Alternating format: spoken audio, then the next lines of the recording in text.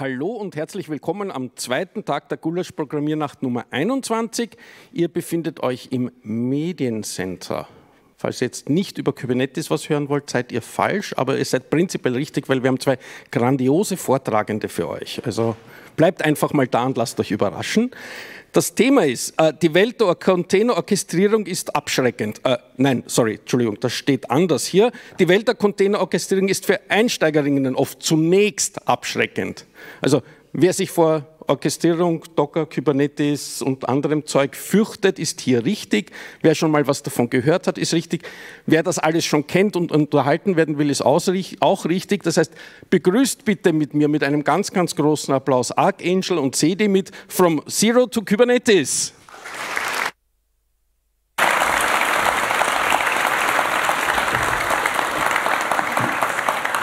Hi, also wir hatten ja letztes Jahr schon hier gegenüber den Talk, äh, wo wir so ein bisschen über Kubernetes geschittet haben. Und dieses Jahr haben wir uns gedacht, machen wir doch tatsächlich mal einen leicht seriösen Talk über das Thema. Deshalb freut euch auf ein halbes Gigabyte Präsentation mit 74 äh, Slides. Äh, und Heiko fängt direkt mal an. Ja, ich bin Heiko, Senior Consultant für eine Firma, von der ihr wahrscheinlich noch nie gehört habt. Und Meistens ist meine Aufgabe, irgendwie dafür zu sorgen, moderne Elektrofahrzeuge irgendwie in die Cloud zu kriegen. Ansonsten, wenn ich Zeit habe, fotografiere ich gerne Events. Kann also sein, dass ihr mich morgen auch mit einer Kamera hier rumlaufen seht.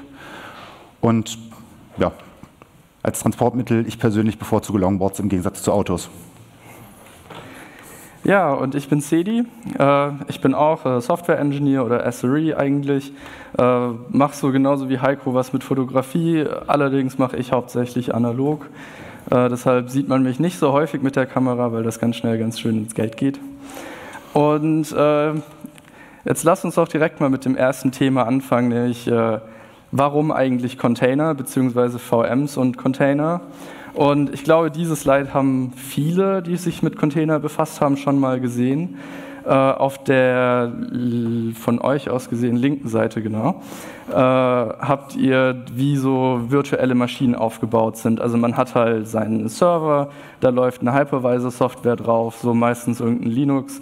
Und dann emuliert man ein komplettes Betriebssystem, also nochmal ein komplettes zweites Linux um darauf dann eine einzelne Anwendung zu installieren. Und schlaue Leute haben sich irgendwann mal gedacht, das ist irgendwie nicht so richtig optimal, weil man muss ja jetzt zwei Linux-Betriebssysteme administrieren. Man muss einmal den Hypervisor aktuell halten, Security-Patches einspielen und dann noch auf der Guest-VM. Und dann kam man mit dieser großartigen Idee, Container zu bauen. Äh, man hat nur noch ein einzelnes Betriebssystem nur noch ein Linux, wo dann die Container Engine drauf läuft und man startet die Anwendung isoliert in einem Container. Für Container gibt es total viele, viele Lösungen. Also Docker haben die meisten von euch gehört, aber es gibt auch noch sowas wie LXC-Container. Deshalb, wir sprechen jetzt nicht nur von Docker, sondern von, von Container allgemein. Und man hat sich einfach gedacht, wenn man jetzt so eine Anwendung in diesen Container paketiert, dann ist das irgendwie einfacher und man kann so dieses Problem lösen von Works on my machine und dann schippt man einfach so die ganze Maschine in Production. Und das hat eigentlich ganz viele Vorteile. Zum Beispiel, man kann das Works on My Machine Problem umgehen. Man kann einfach die eigene Maschine in Production shippen und sagen, ja, funktioniert. Es ist auch ziemlich einfach zu skalieren, weil ich sagen kann, ich habe jetzt hier meine Container-Definition und jetzt starte den Container nicht nur einmal, sondern tausendmal. Und weil das alles in diesen Containern ziemlich einfach zu bedienen ist, kann man das auch ganz gut automatisieren. Ja, aber es hat halt nicht nur alles Vorteile, es hat auch Nachteile. Es ist halt yet another layer, den man patchen muss, um den man sich kümmern muss. Und dieser Layer äh, hat halt eine gewisse Learning Curve. Man ist tatsächlich äh, gerade bei Containern sehr oft darauf angewiesen, dass man eine wirklich gute Doku hat, Ansonsten ist man mehr oder weniger verloren.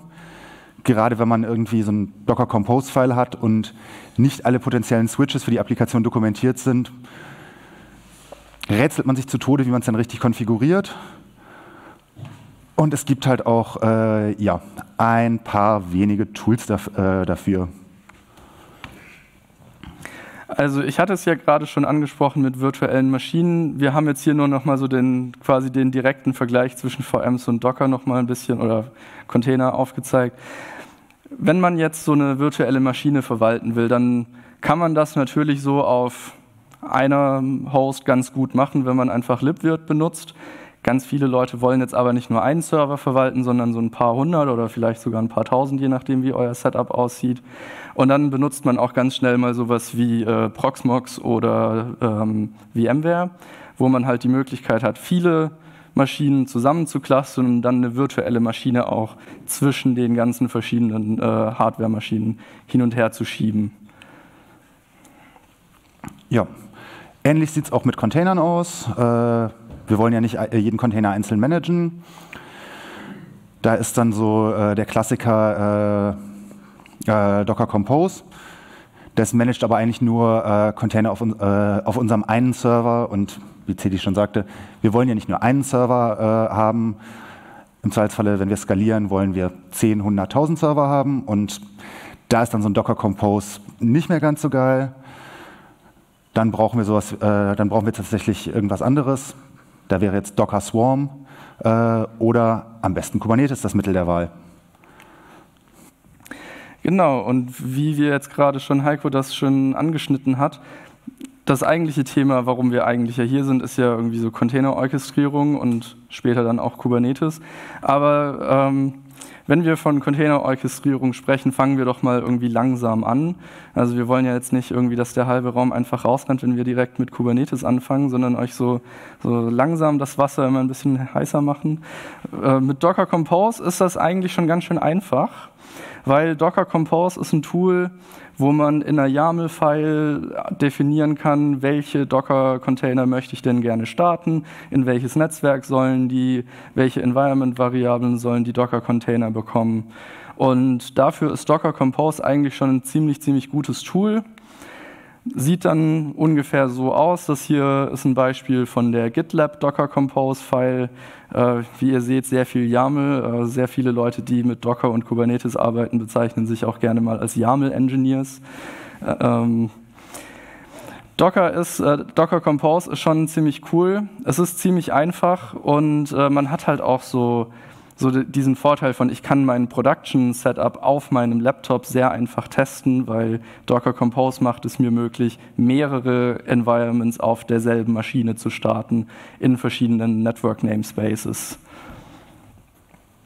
Ja, das hat halt nur den Nachteil, Single Host, äh, Docker Compose ist halt für Single Host.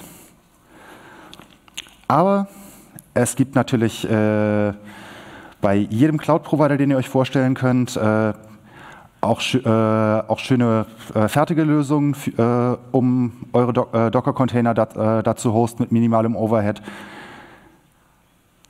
Empfehlen würde ich jetzt direkt keinen,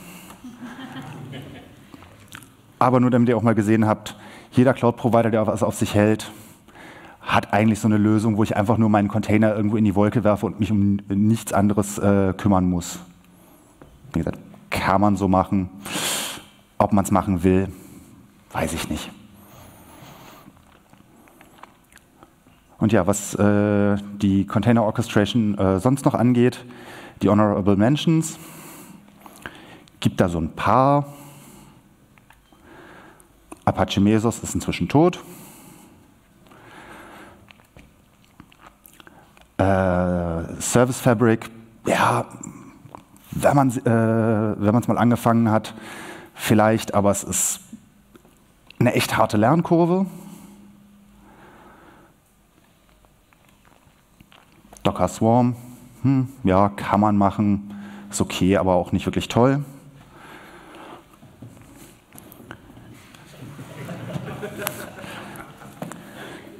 Wenn man sich alles selber bauen will, kann man es mit Pacemaker machen. Funktioniert, aber man baut halt lang und viel selber. Wenn man Geld drauf werfen will, nehme man HashiCorp Nomad, dann wirft man aber viel Geld auf das Problem. Und dann gibt es, was ich tatsächlich privat auch noch einsetze, das äh, Truna Scale. Da kann man auch mehr oder weniger einfach Contain äh, Container spawnen. Aber die Community ist einfach äh, eine äh, stellenweise toxische Pile of Shit. Deswegen würde ich das auch nicht empfehlen, wenn ihr irgendwie Community Support haben wollt oder Fragen habt und euch nicht alles selber beibringen wollt. Deswegen unser Mittel der Wahl ist und bleibt Kubernetes. Genau. Ähm, ich glaube, wir beide betreiben Kubernetes-Cluster zu Hause und auch beruflich, auch teilweise größere Cluster. Und äh, wir, also ich habe mal Docker Swarm ausprobiert, war, war einfach nichts für mich. Ich finde, mein, mein Mittel der Wahl ist für Container eigentlich immer Kubernetes. Aber was ist denn jetzt Kubernetes eigentlich wirklich? Viele sagen so, ja, Kubernetes ist auch nur ein Tool. Stimmt nicht so ganz. Das alles ist nämlich irgendwie Kubernetes äh, oder zumindest Kubernetes related. Und wenn man sich jetzt mal durchliest, was Wikipedia zu dem Thema zu sagen hat, dann liest man da auch, dass Kubernetes eben nicht ein einzelnes Tool ist, sondern ein Set an Building Blocks, die man zusammenbauen kann, um sich einen Container-Orchestrator zu bauen. Man hat vor allem sehr viele standardisierte APIs, damit die einzelnen Komponenten effizient und standardisiert miteinander reden können. Und wenn man sich das jetzt nochmal anguckt, dann sieht man ja auch, dass man da sehr viele einzelne Gruppen hat. Und wenn man sich jetzt sein Kubernetes-Cluster bauen möchte, kann man sich auf diese Landscape äh, verlassen, dass da die wichtigsten Tools alle drauf sind. Und dann guckt man, welches Tool finde ich denn so am besten in jeder Kategorie. Und dann kann man sich da schön die einzelnen Bausteine rausnehmen, die man braucht, und sich sein Kubernetes-Cluster zusammenbauen.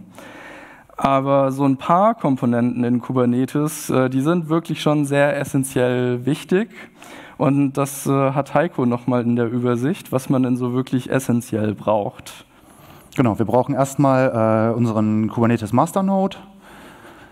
Ähm, da ist halt so der äh, API-Server drauf, der uns diese Schnittstellen bereitstellt, dass wir verschiedene, äh, verschiedene Dinge nutzen können.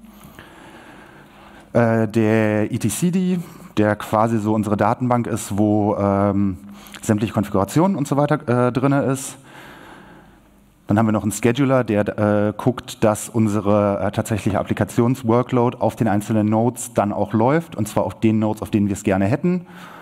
Und vielleicht auch von den Nodes, von denen wir, äh, wo wir gerade nicht wollen, dass unsere Applikation läuft, sie runtergezogen wird. Und je nachdem, äh, wenn, wir, äh, wenn wir in der Cloud-Welt sind, haben wir auch noch einen Cloud Controller Manager, der an die API des Cloud-Providers geht und uns automatisiert Dinge bereitstellen kann äh, den Load Balancer zum Beispiel konfigurieren kann oder wenn wir plötzlich mehr Storage brauchen, äh, über die Cloud API uns einfach mehr Storage äh, provisioniert. Und ja, es gibt so ein paar äh, verschiedene Distributionen und Flavors von Kubernetes. Von so Micro K8S über äh, OpenShift Inzwischen kann man sogar äh, OpenShift auf der IBM Cloud laufen lassen. Vielen Dank, Lyra. Ich weiß immer noch nicht, wer das will, aber sogar SAP hat inzwischen sein eigenes äh, Managed äh, Kubernetes im Angebot. Und ja, es gibt eine Fülle von Distributionen, die man einsetzen kann, aber nicht unbedingt muss.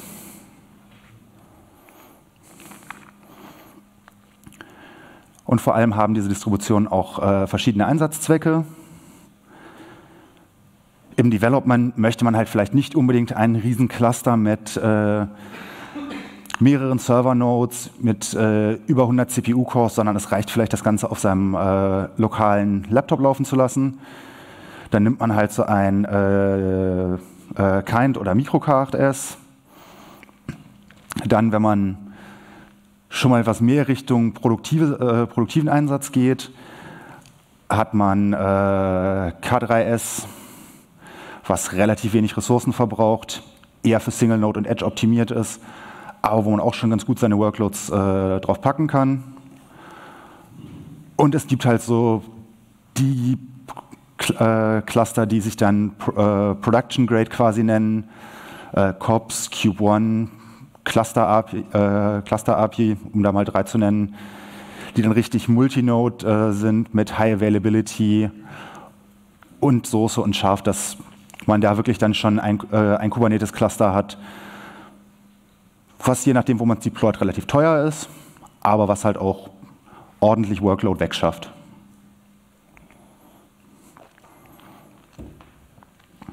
Und wenn wir das dann äh, noch ein bisschen weiterspinnen, es gibt halt auch noch äh, Enterprise-Installationen, die, äh, die dann dem Standard Kubernetes noch ein paar Features hinzufügen. Da würde ich halt dann so ähm, OpenShift zum Beispiel nennen oder halt das Kubernetes von SAP, die einem zusätzlich vielleicht noch ein nettes GUI bereitstellen, die einem Tools bereitstellen für, äh, für das Tracing der Applikation. Wo hängt es denn eigentlich? Äh, wo brauchen meine Requests? Wie lange? Und natürlich äh, bietet jeder Cloud-Service äh, eigentlich auch so sein eigenes Kubernetes an. Auf AWS heißt es dann EK, äh, EKS, auf Azure heißt es AKS. Äh, bei Google, äh, Google nennt es einfach die äh, Google Kubernetes Engine.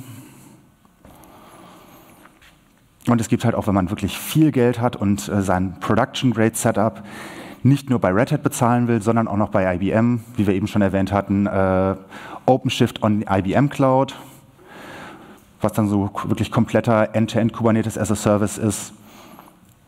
Das ist dann aber wirklich, äh, wenn man sich um nichts mehr quasi selber kümmern möchte und einfach viel zu viel Geld hat. So, jetzt haben wir ja schon so ein bisschen darüber geredet, äh, was denn Kubernetes ist und äh, jetzt kommen wir zu meinem Lieblingsteil. wann und wann setzt, also wann wollen wir Kubernetes vielleicht einsetzen und wann eher nicht? Und wir haben dafür ein kleines Spiel vorbereitet. Äh, hebt mal alle die Hand, wenn ihr der Aussage zustimmen würdet. Würdet ihr Kubernetes dafür einsetzen wollen, um Static Content zu serven? Also sowas wie euren Hugo-Blog oder so? Natürlich nicht. Also dafür kann man, so, kann man äh, Block Storage benutzen und ein CDN davor klemmen. Dafür braucht man wirklich keinen Kubernetes. Andere Frage, Datenbanken. Will hier irgendjemand freiwillig Datenbanken in Kubernetes betreiben? Suggestivfrage. Jeder, der jetzt Ja antworten würde und die Hand hebt, äh, wird nachher ausgepeitscht auf der Wiese.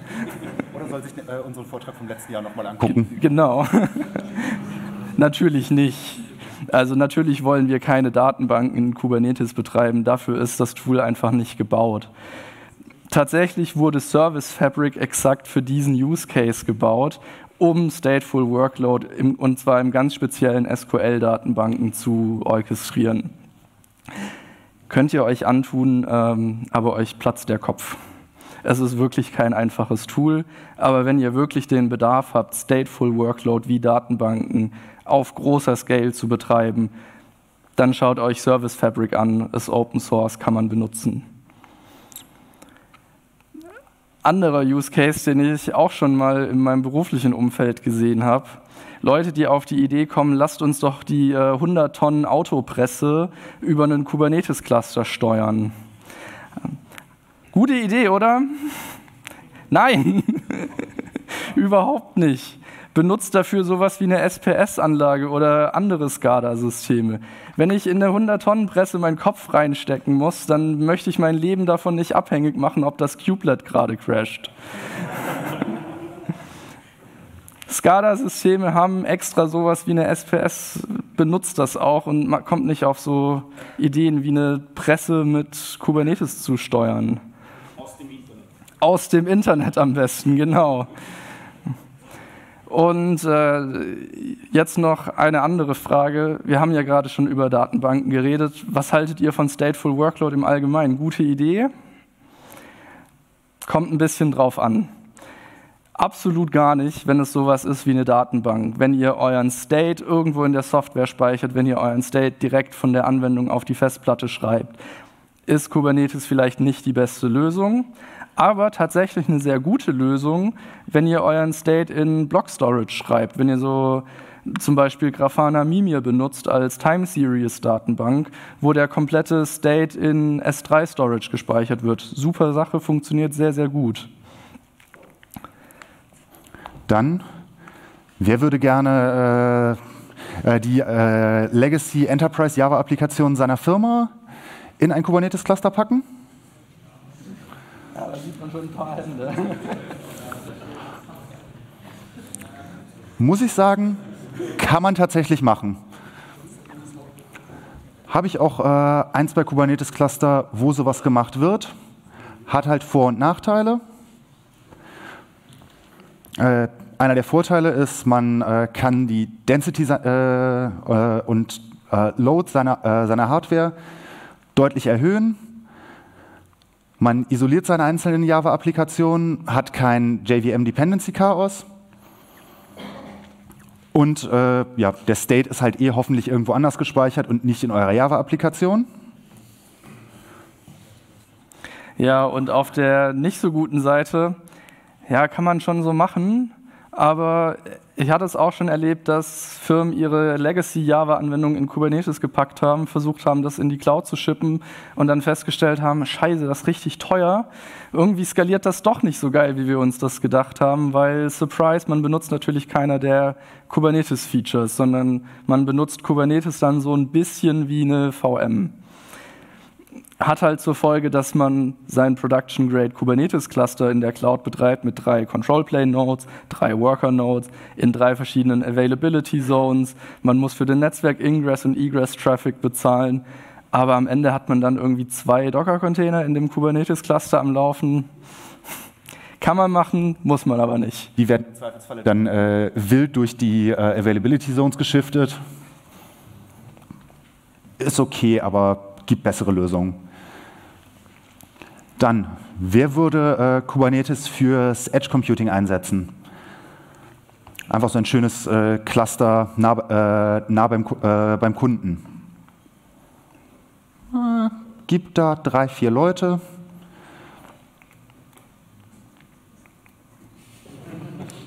Nein. Ich würde sagen, maybe. Es hat, äh, hat, halt Vorteile, wie das, äh, dass du deinen Service in einem sehr standardisierten Weg nah beim, äh, nah beim Kunden deployst, kurze Latenzen. Du hast im Zweifelsfall auch einen schönen verteilten Sync.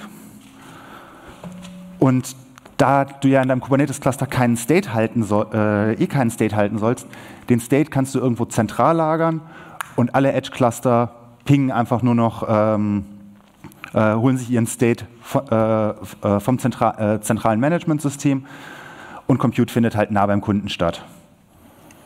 Nachteil ist kompliziert. Ist jetzt nicht so, dass man hingehen könnte und sagen könnte, so klick und fertig und ich habe meinen Distributed Kubernetes Cluster. Kann man machen, braucht aber ein bisschen mehr Planung. Und wenn man so klassische Multicluster-Deployments hat, dann braucht das meistens auch ein bisschen Erfahrung mit Kubernetes, um das richtig zu tun. Und manchmal hat man ja auch den Case, dass dann die verschiedenen Edge-Nodes miteinander kommunizieren müssen. Und da wird es dann mit der Latency auch manchmal ein bisschen schwierig und eng. Und dann muss man ein bisschen aufpassen, dass die Latency wirklich noch im Rahmen bleibt. Aber Fun Fact, äh so ein Video-Streaming-Provider zum Beispiel macht das und äh, betreibt die äh, Kubernetes-Cluster, die, äh, die, euch dann eure Lieblingsserien liefern, relativ nah bei euch, damit, das, äh, damit der Stream möglichst gut flutscht. Dann, wollt ihr Kubernetes für eure Stateless Microservices nutzen? Ja, schön. Ich sehe, äh, einige Hände hoch und ja genau, das wollt ihr. Das ist tatsächlich ein, äh, äh, eine äh, der besten Ideen für äh, euer Kubernetes-Cluster. Das skaliert auch schön und das ist, äh, ja, da wollt ihr euer Cluster, äh, Cluster mit füllen. Wie sieht es aus mit diesem schönen neuen modernen Serverless Computing? Wer, äh, wer würde seine äh, äh, Lambda-Funktion oder, oder, ähnliches gerne auf einen Kubernetes-Cluster werfen? Na, das sind schon wieder weniger. Habt ihr auch recht. Kann man machen. Es gibt aber ein Aber.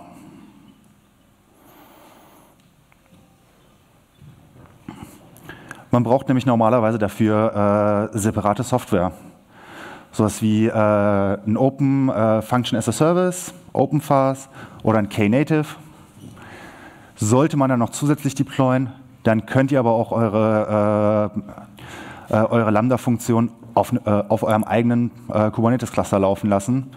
Vom Raspberry Pi angefangen bis hin zu, wenn ihr hochskalieren müsst, auf Multi-Host-Clustern, die dann auch so 30, 40 Millionen Requests ver verarbeiten können. Jo, also wir haben euch ja jetzt so ein paar Use Cases gezeigt, wo es vielleicht nicht so sinnvoll ist, Kubernetes zu benutzen. Und als wir mit äh, Function as a Service angefangen haben, sind auch schon ein paar Leute gegangen. Das war dann ein bisschen zu viel, zu viel des Guten. Ähm, ich habe dieses vor, vor einiger Zeit mal dieses Zitat hier gefunden und ich finde, das passt eigentlich extrem gut zu Kubernetes defaultet zu Kubernetes als euer Infrastructure as a Service Provider immer nur dann, wenn ihr keine bessere Lösung findet. Kubernetes ist nicht der Heilsbringer, den, für den viele Kubernetes halten. Es ist ein gutes Tool, aber benutzt es immer nur dann, wenn es nicht vielleicht doch noch ein besseres Tool gäbe. Deshalb evaluiert immer sehr, sehr vorsichtig und fragt euch diese Fragen sehr ernsthaft. Braucht ihr das Kubernetes-Cluster wirklich? Ist es wirklich die richtige Lösung für euer Problem? Was, überlegt euch ganz genau, was sind eure Functional, Functional Requirements? Und seid da auch ehrlich zu euch. Ich weiß, viele von euch äh, sind so ein bisschen wie ich und sind so, ja, ich möchte aber gerne mit diesem schönen neuen Spielzeug spielen und dann schreibe ich meine Functional Requirements genauso, dass sie zu Kubernetes passen. Aber wirklich braucht ihr das wirklich? Gibt es nicht vielleicht ein anderes Tool, vielleicht ein Container as a Service Tool, was den Job sehr viel besser erledigen könnte? Und eine Frage, die tatsächlich sehr häufig nicht gestellt wird, ist, habt ihr die Operational Capacity, um einen Kubernetes-Cluster zu betreiben? Ein Kubernetes-Cluster zu betreiben ist nicht so mit, ich klicke hier dreimal und bin fertig und muss mich nie mehr drum kümmern. Das kann ganz, ganz schnell ein Vollzeitjob werden, dass eine Person nichts mehr anderes tut, als dieses Kubernetes-Cluster zu betreuen. Habt ihr die Kapazität dafür? Habt ihr das Geld dafür, eine Person dafür abzustellen, den Rest der Zeit nur noch sich um Kubernetes kümmern zu lassen? Deshalb guckt sehr, sehr vorsichtig, äh, was ihr so als Angebote bekommt. Braucht ihr Infrastructure oder reicht vielleicht sogar ein Container as a Service Offering?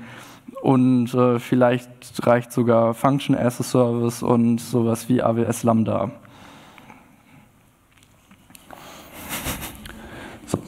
Nachdem wir euch jetzt erklärt haben, wo man äh, Kubernetes einsetzt, wo man es nicht einsetzt, wie, setzt, äh, äh, wie fängt man überhaupt an? Wie baut man sich sein erstes Kubernetes-Cluster? Für die ersten Schritte äh, nehmt ihr einfach äh, das kleinstmögliche, äh, so ein Kind oder ein K3D. Das läuft, äh, läuft bei euch lokal sogar auf dem Laptop braucht nicht viele Ressourcen und äh, ja, ist teilweise, äh, wie man an den äh, zwei Screenshots unten erkennt, mit einem Command in 14 bis 15 Sekunden aufgesetzt. Dann habt ihr auf eurem Laptop schon euer erstes Kubernetes-Cluster und könnt lustig anfangen, auf dem Laptop Container hin und her zu schieben. Wenn es ein bisschen größer werden soll, ähm, äh, gibt es dann auch K3S.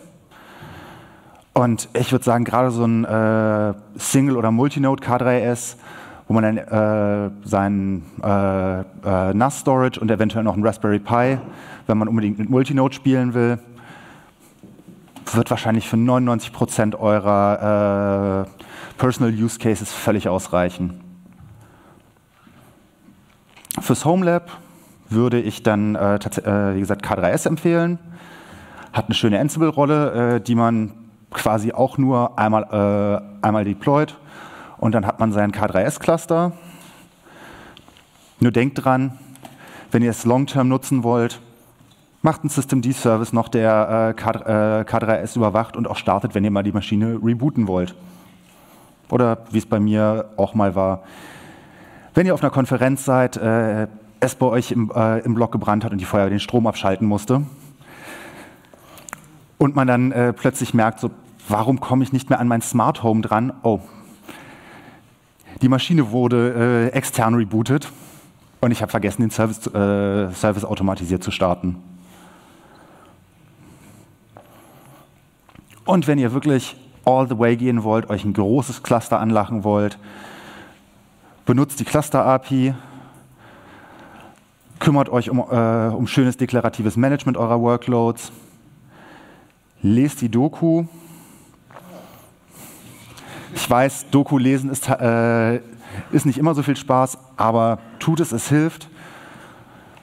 Und äh, wer hier hat irgendwie eine Maschine äh, oder äh, irgendwas bei Hetzner? Ja, wie wir vermutet haben, es sind einige hier, die äh, äh, Hetzner-Kunden sind, guckt euch die Cluster-API von Hetzner an. Die haben tatsächlich wirklich einige schöne Sachen äh, da gemacht und die sind eigentlich relativ gut. Aber seid gewarnt, das wird nicht unbedingt einfach. Kann man auch mal schön zwei, drei Wochenenden für verschwenden.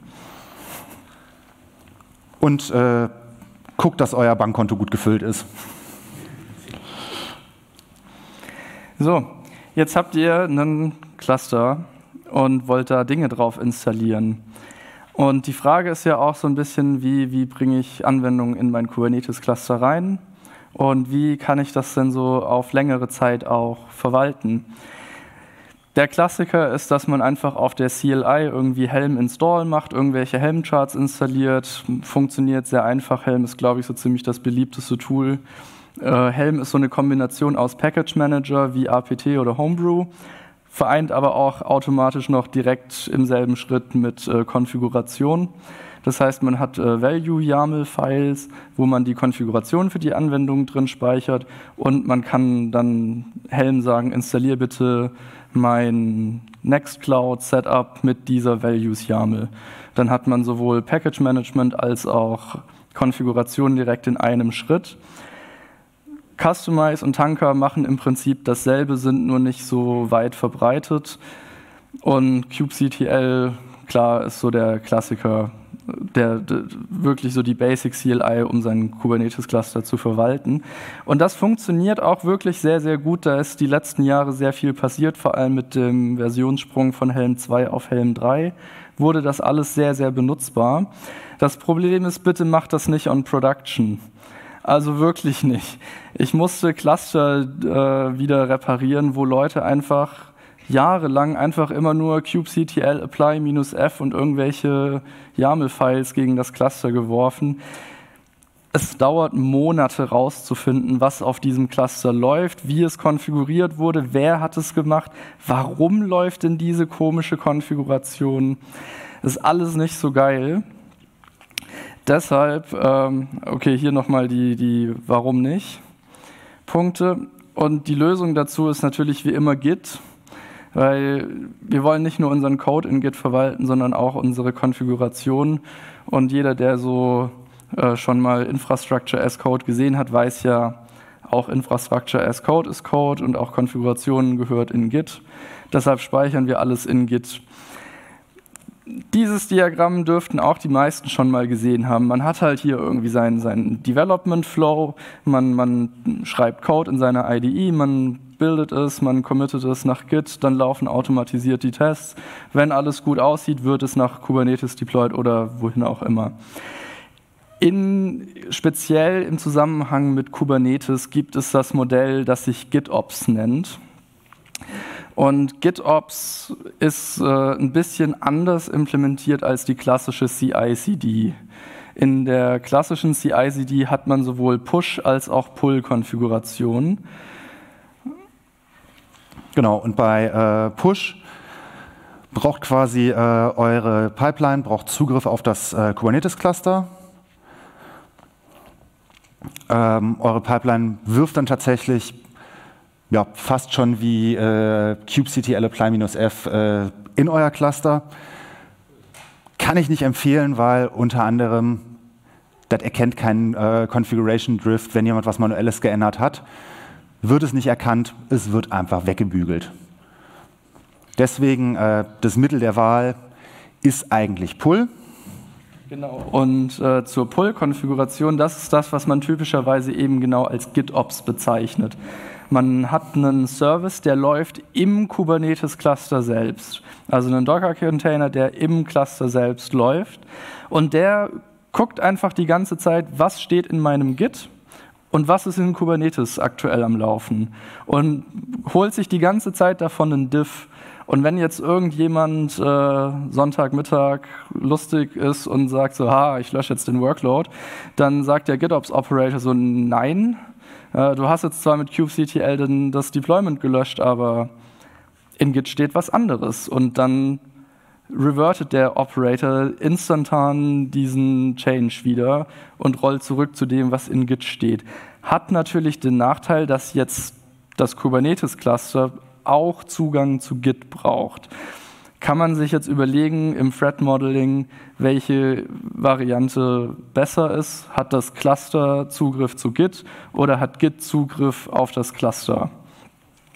So eine Frage, die man sich dabei stellen muss.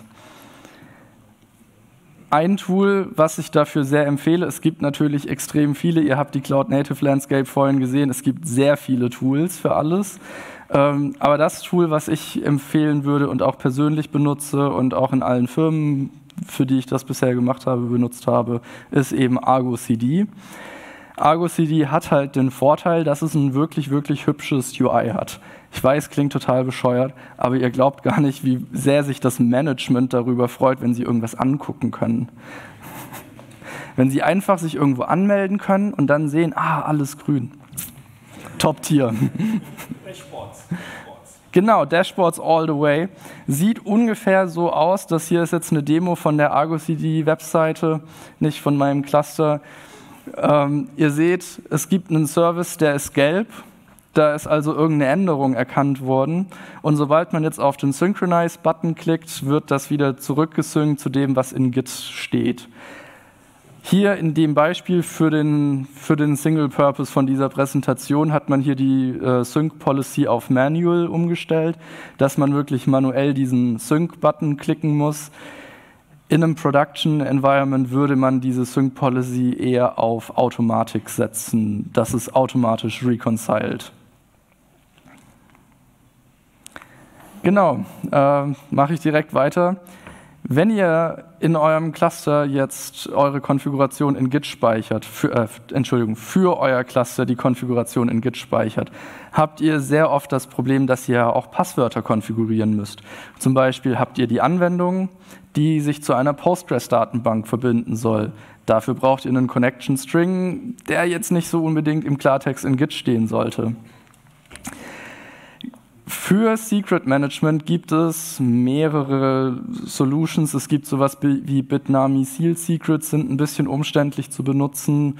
Es gibt auch verschiedene Integrationen zu Cloud-Providern wie zu äh, Azure Key Vault oder AWS Key Vault. Ähm, äh, Secret Management, äh, genau. Secret Store. AWS Secret Store heißt das Ding. Kann man machen, ist aber auch wieder so ein bisschen aufwendiger zu konfigurieren der meiste, in den allermeisten Fällen benutzt man eins von diesen beiden Tools hier. GitCrypt ist ein bisschen älter, würde ich heute für ein neues Projekt nicht mehr verwenden. Funktioniert halt, äh, basiert auf GPG und encryptet immer die ganze Datei. Funktioniert super, kann man machen dann hat man halt kein Git-Diff mehr. Ihr verändert irgendwas an eurem Secret in eurem Helm Values YAML, aber ihr könnt es nicht mehr diffen. Pull-Request-Reviews sind ziemlich schwierig zu tun. Wie gesagt, funktioniert zwar, würde ich aber nicht mehr empfehlen. Viel, viel besser ist äh, Mozilla SOPS.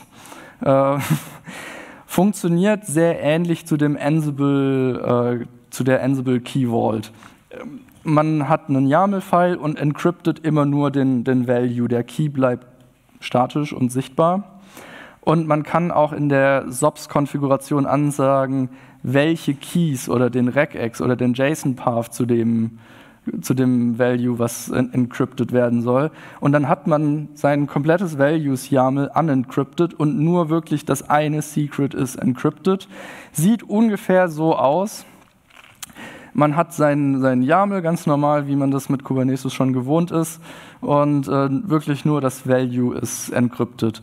Vorteil von SOPs gegenüber GitCrypt ist auch, es ist nicht ausschließlich PGP-basiert, sondern man kann auch so moderne Kryptotechniken wie H-Keys benutzen. Sehr viel einfacher im Handling. Genau. Und ja, jetzt haben wir quasi unser Cluster, unsere Applikationen laufen. Aber wie kommt eigentlich der Traffic zu den Applikationen? Der flattert ja nicht plötzlich da rein. Deswegen How to serve your application. Die einfachste, simpelste Variante ist einfach so ein Node-Port. Das heißt, äh, auf eurem äh, Kubernetes-Node ist dann ein äh, Port offen. Äh, und das war es mehr oder weniger. Etwas smarter ist es dann, äh, einen Load Balancer zu verwenden. Und der Big Brain Move ist tatsächlich, nehmt einen Ingress-Controller, einen vernünftigen. Naja, der Giga-Brain-Move ist eigentlich, dass man gar keinen Traffic mehr braucht. Ja. Das ist dann tatsächlich auch das sicherste, weil wenn kein Traffic bei meiner Applikation ankommt, kann auch äh, äh, keiner irgendwelchen malicious Traffic an meine Applikation schicken. Aber ja, wie gesagt, Easy Mode. Ihr habt so einen Node-Port. Auf, äh, auf eurem Kubernetes-Node äh, wird tatsächlich einfach nur ein Port geöffnet. Der Traffic schlägt auf diesen Port, äh, Port ein und das war es mehr oder weniger. Hat den Nachteil, ihr habt nur eine relativ kleine Range an Ports und ihr dürft keine Reserved Ports benutzen. Also so eine, äh, so eine statische Website einfach mal über Nodeport freigeben, ist nicht. Kein Port 80, kein Port 443. Deswegen, der Advanced Mode nutzt einen Load Balancer. Hat den Nachteil, äh, jeder, äh, jeder einzelne Load Balancer kostet Geld. Und zwar nicht nur für seine bloße Existenz, sondern auch für den Traffic, der reinkommt und rausgeht. Dann ist das äh, Zertifikatsmanagement ähm, bei, äh, bei, eurem Cloud-Provider vielleicht nicht äh, das, was ihr haben wollt. Vielleicht wollt ihr ein Let's Encrypt-Zertifikat nutzen und nicht irgendeiner äh, Third-Party-Firma auch noch für das Zertifikat Geld hinterherwerfen. Aber euer Cloud-Provider sagt, nö, wir haben hier diese Enterprise CA. Wenn ihr ein Zertifikat wollt, nehmt die Enterprise CA und gebt uns Geld dafür. Es braucht dann natürlich auch noch äh, einen Cloud-Provider, der Load Balancer Support hat. Ich bin mir gerade nicht sicher, aber inzwischen, glaube ich, hat jeder Cloud-Provider Load Balancer Support. Ja, auch Hetzner hat. Und die Hetzner Load Balancer sind mittlerweile tatsächlich sehr gut. Danke, Tobi. Kle äh, kleiner Nachteil ist, äh, TLS wird normalerweise am Load Balancer terminiert. Das heißt, zwischen Load Balancer und eurer Applikation ist der Traffic unverschlüsselt. Kommt halt dann wieder auf euer Threat Modeling an. Aber das Ganze funktioniert auch tatsächlich nur für Domains und nicht für Pfade. Deswegen, wenn ihr Expert-Level gehen wollt und wirklich große Workloads habt, benutzt einen Ingress-Controller. Ich würde empfehlen äh, Ingress Nginx. Wenn ihr soweit seid, dass ihr äh, das äh, Nginx als Ingress-Controller nicht mehr ausreicht und ihr ähm, Envoy benutzen müsst, dann seid ihr eh schon soweit, dass ihr ein Production-Grade Kubernetes-Cluster betreibt mit mehreren Millionen Requests per Second. Und dann habt ihr das, äh, meist, äh, das Kubernetes-Game eigentlich auch schon durchgespielt.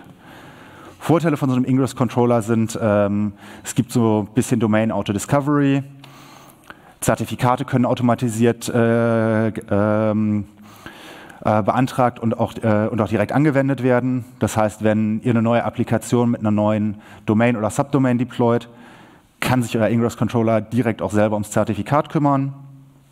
Das Ganze ist wirklich High Performance. Also so der Standard äh, Ingress Engine X, selbst auf einem Raspberry Pi, glaube ich, äh, 5.000 bis 10.000 Requests per Second, auf einem Pi 4 und das Ganze funktioniert auch mit äh, URL-Pfaden. Das ist wirklich so the way to go bei gr äh, größeren Clustern. Aber das ist halt auch, die Ersteinrichtung ist nicht unbedingt trivial. Was ich noch dazu sagen möchte zu, diesen, zu diesem Unterschied von äh, Works on Paths und Works on URLs, der Unterschied ist da einfach, Ihr habt in eurem Kubernetes vielleicht verschiedene Anwendungen, verschiedene Microservices und wenn ihr jetzt einen Service-Type Load Balancer habt, der nur mit äh, Domains klarkommt, dann ist jeder Microservice mit einer Subdomain angesprochen. Dann hat man subdomain 1.example.com. Während wenn man einen Ingress-Controller benutzt, dann kann ich auch Regeln definieren, dass verschiedene URL-Pfade zu verschiedenen Anwendungen, zu verschiedenen Microservices geroutet wird. Ist wirklich sehr praktisch, vor allem wenn man Anwendungen skaliert oder wenn man seine API als Microcontroller, äh, Microservices implementiert und jeder API-Pfad einen eigenen Microservice bekommt. Ja, dann sind wir auch schon soweit. Vielen, äh, vielen Dank euch allen fürs Zuhören. Right. Und wenn ihr Fragen habt, bewerft uns mit Fragen. Wir haben noch 15 Minuten Zeit für Fragen.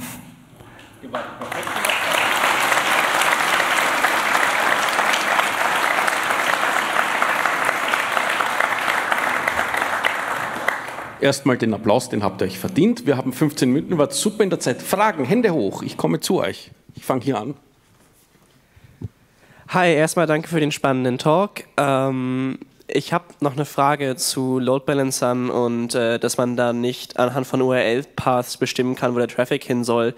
Ist das bei den großen Cloud-Providern wirklich, also ist es da so, weil ich kenne das von HA-Proxy zum Beispiel so, ja. ich habe bei mir selber einen, einen Einsatz, dass es überhaupt kein Problem ist, das so einzusetzen. Ist das einfach eine Limitierung von den Cloud-Providern? Ja, darf ich? Also wenn wir auf dieses Slide gehen, ups, da sind wir schon. Also das, das Problem ist dabei, dass der Traffic an den Load Balancer kommt und der Load Balancer gibt das an den Kubernetes Service Objekt weiter. Und vom Service-Objekt wird es dann an den Pod geroutet und der Service wiederum ist immer auf einer Subdomain. Achso, okay, danke. Kein Problem. Auf welchem Networking-Level oder welchem Level ist, äh, wenn man die Gateway API verwendet? Die Gateway API. Sagt dir die was? Nee, gerade nicht. Habe ich bisher noch nicht benutzt. Sorry. Okay. Was hat sich bisher bei äh, Kubernetes als äh, Shared Storage am meisten bewährt? Äh, MinIO für okay. S3 Storage. Ja, am besten ist tatsächlich, werft eure Sachen in irgendwas S3-Kompatibles, ähm, speichert es da. Ist so der eigentlich optimale, äh, äh, die optimale Storage-Class für das meiste. Der wo linke Publikumsseite, wo war die Frage? Hände hoch. Ah. Hier vorne. Ach, wieder falsch. Der, Im Mittelgang leider. Mittelgang, verdammt. so komme ich wenigstens auf meine Schritte. Ähm, ja, was ich bisher als Ingress-Controller benutzt habe, war halt eher auch Traffic. Ähm, warum kam das jetzt nicht? Das war eigentlich auch recht bequem. Es ist bequem, aber es ist äh,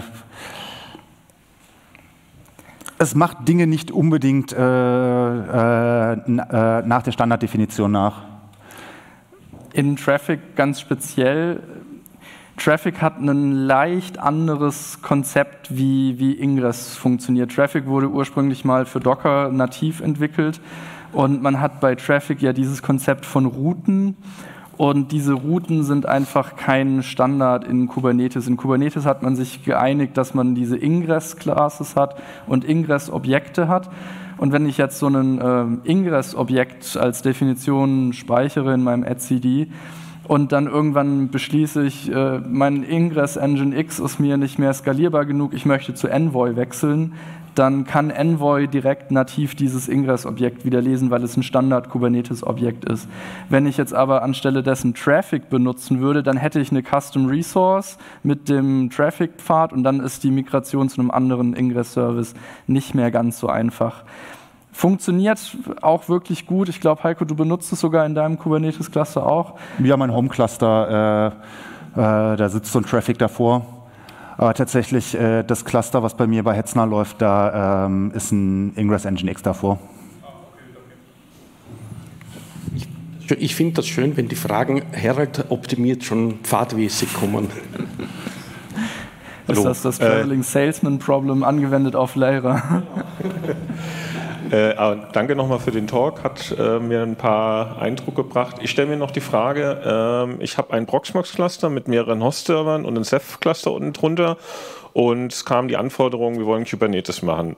Macht das Sinn, das als VMs in ein Proxmox-Cluster zu machen oder ist es besser, eigene Hardware zu nehmen? Was ist da so die Empfehlung? Und auch das Storage würde ich dann den Ceph von dem Host einfach mitbenutzen, statt in der VM nochmal eine Storage-Lösung reinzubauen. Also tatsächlich, wenn du äh, schon Ceph als Storage hast, nimm es. Es ist, eine, äh, es ist meiner Meinung nach eine gute Idee. Ja, und ja, tatsächlich Fall. auch äh, die, äh, die Kubernetes-Nodes auf dem Proxmox aufzubauen, würde ich jetzt sagen, äh, wenn du nicht wirklich Highest Performance Kubernetes brauchst, spricht eigentlich nichts dagegen. Genau. Also ich hätte jetzt äh, an der Stelle auch gesagt, es kommt so ein bisschen auf die Performance Requirements an. Wenn du jetzt wirklich alles High Performance möglichst nah an der Hardware möchtest, dann klar nimm Bare Metal Kubernetes. Ansonsten die Proxmox VMs funktionieren sehr gut. Ich habe auch einen äh, Intel NUC zu Hause mit Proxmox drauf, wo ich auch ein paar Kubernetes Worker Nodes drauf habe. Funktioniert. Und Ceph als Storage Provider sehr gut, ähm, kann ich auch empfehlen. Äh, Habe ich für meine Persistent Volumes im Homelab auch.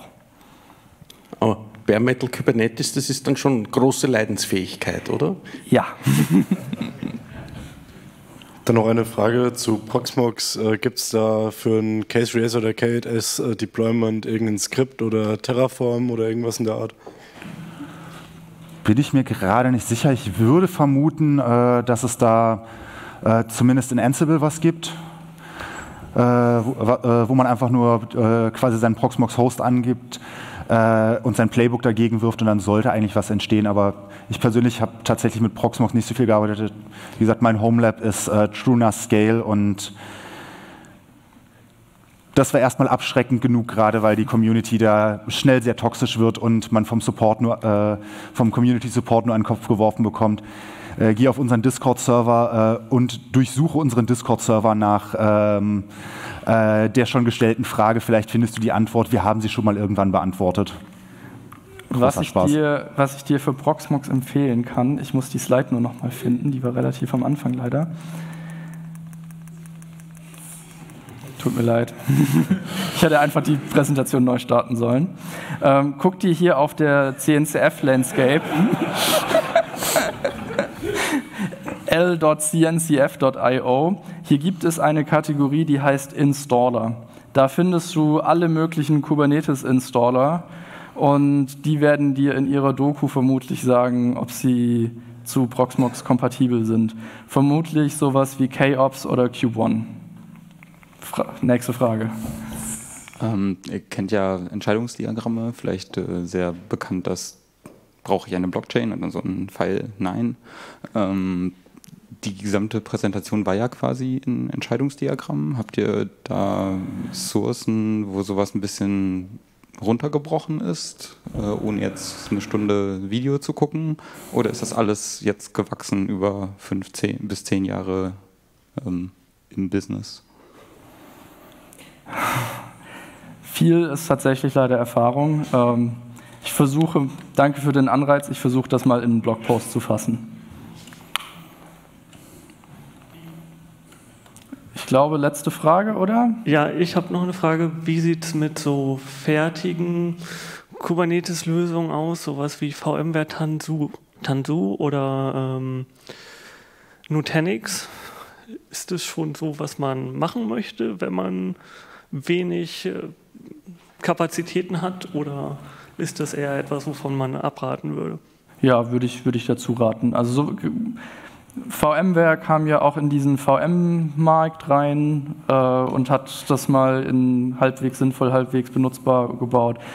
Und so ähnlich zeichnet es sich gerade mit Kubernetes ab, dass VMware Tanzu tatsächlich auch sehr brauchbar wird.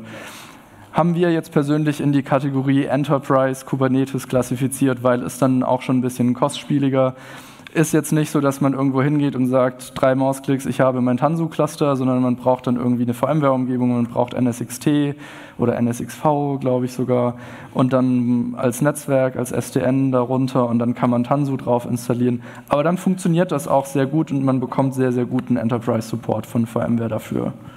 Aber ein Punkt dazu, ähm, Es reduziert zwar den Operating-Aufwand ein ganzes Stück, aber man hat immer noch Operating-Aufwand, also auf Null äh, wird man ihn nicht kriegen.